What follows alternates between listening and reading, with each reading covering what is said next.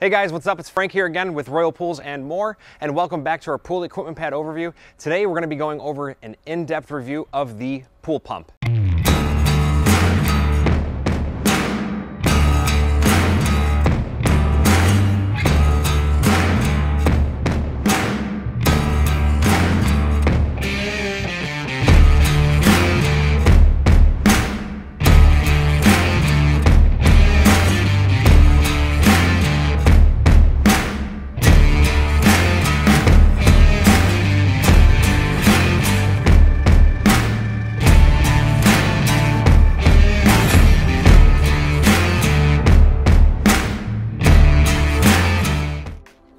Before we get started, as always, if you can hit that like, share, and subscribe button, we would greatly appreciate it here at Royal Pools and More.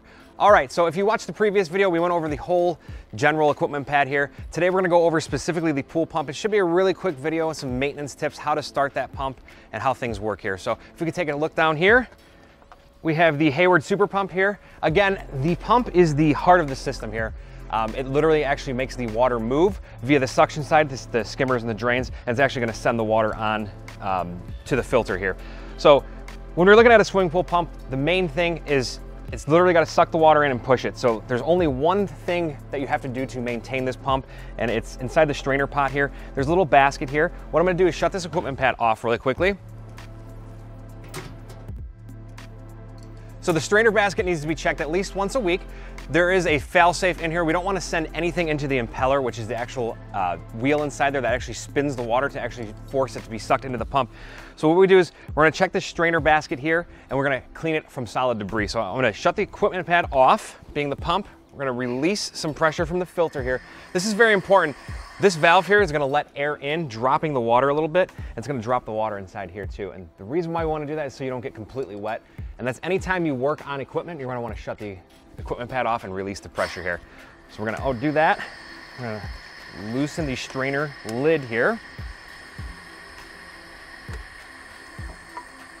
As you can see here, we have some cottonwoods, a couple bugs, Nothing major, but you want to get this debris out. We don't want it getting sucked through the basket into the impeller here, which actually forces the water to be moved. So all you got to do is take it over your grass here, tap it out, remove the solid debris, put it right back in here. Sometimes you're gonna have to take a garden hose, get a really thorough rinsing of it. Cottonwoods do get stuck in there. You're not gonna get everything 100%, but it is good practice. You wanna get some uh, mulch, rocks, little pebbles. Um, sometimes you'll get high grass clippings in there. They will get wedged inside that impeller. It's very important to take care of it.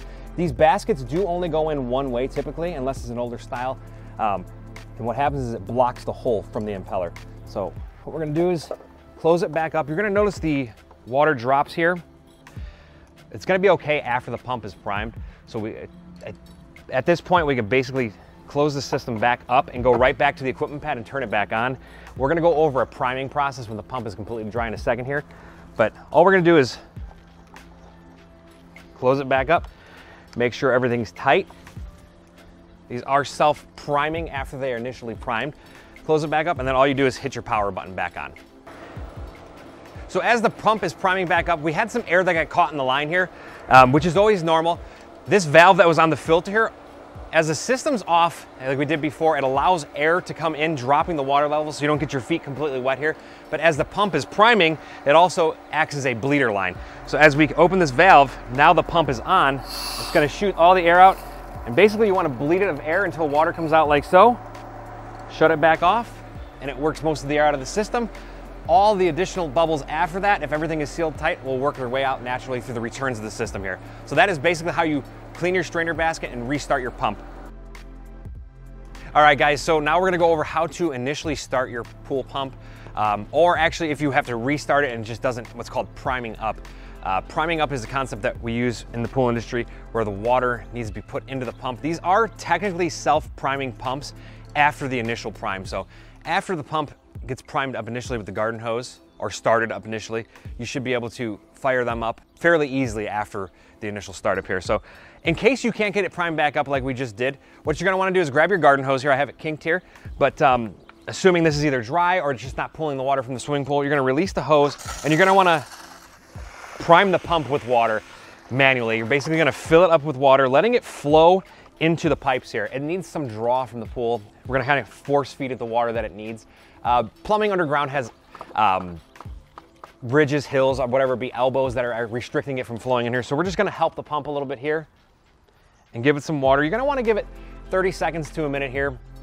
This one isn't too bad. We just had it primed up, so I'm not gonna take that long, but essentially you're gonna wanna fill it in here. When you get to a good point, you can actually, if you really want to, you can actually, the water gets kind of high, you can actually close maybe the drains down or even the skimmers, depending on which one's closer. In this case, they're about the same distance, so it's truly not gonna matter.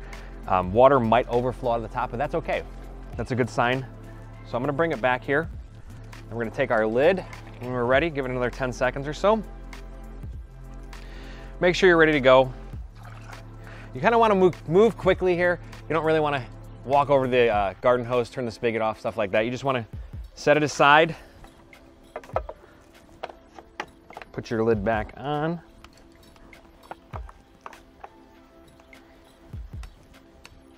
If you had your bleeder valve, make sure it's closed. Go back.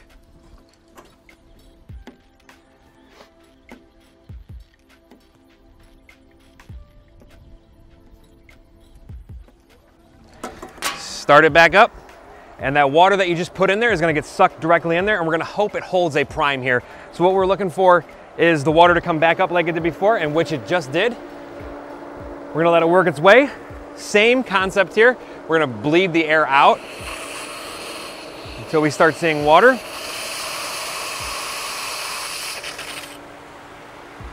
There you have it. That's exactly how you want to prime your pool pump up. That is initial startup or repriming. They, again, they are self-priming pumps, but sometimes you gotta give it a little help. So thanks guys. There you go, the basic overview of a swimming pool pump. We hope to see you guys next time. If you guys can, check out royalpoolsandmore.com, our YouTube page, our Facebook, and all social networks. We'll see you guys next time.